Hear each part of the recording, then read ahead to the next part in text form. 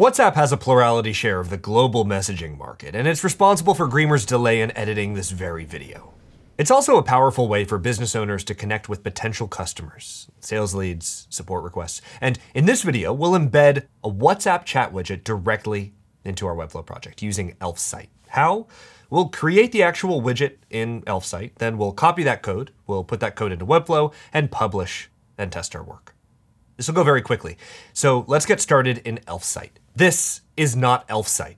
It's apple.com from the year 2000. Now we'll go into Elfsight. If you haven't already created an account, now is the time to do that. Greemer is creating one for us right now. Huh? Once we're logged in, this is our applications panel. And what we're looking for here is the WhatsApp chat widget. We can use search right here. Let's select WhatsApp.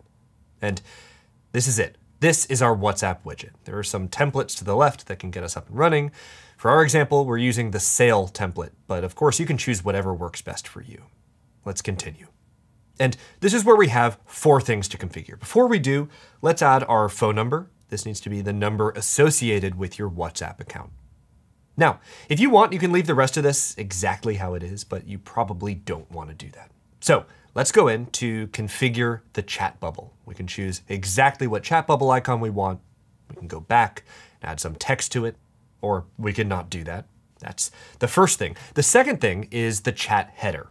This is a picture of a man. Which man? Well, we reverse image searched on Google Images and we're still researching.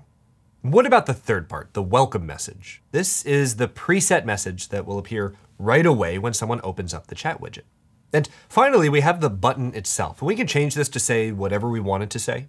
And we can toggle the WhatsApp Messenger icon.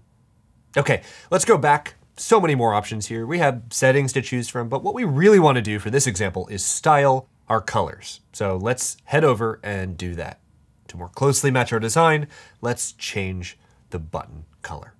Once we do, that's it. We go over, we save our changes, the next thing we're prompted to do, this is moving from part one to part two, by the way. All we have to do is press copy. That's part two, which, and we timed this to confirm, was a much shorter duration than part one. Part three, let's go to our Webflow project. And if our goal is to have the WhatsApp widget appear on every page, we can go over to our project settings. And of course, once we're there, we can head over to custom code. Now, if you want the widget on every single page, paste it here. Save your changes, and of course, publish your site. But what if you don't want it on every page? Maybe you don't want it on your order confirmation page or your privacy policy.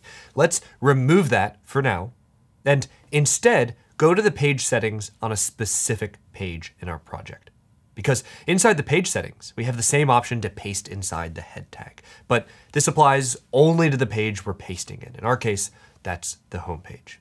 Same as before, let's save and of course, once we're done saving, let's publish our project. That's part three. Part four, let's test our published page. So what do we expect? We expect this to show up now that we've published.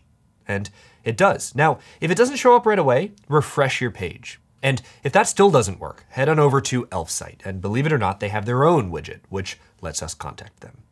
But that's it. We created our widget in Elfsight, we copied the code, we pasted that in Webflow, we published it and tested, and Greemer wrapped up editing this video with his usual professionalism and commitment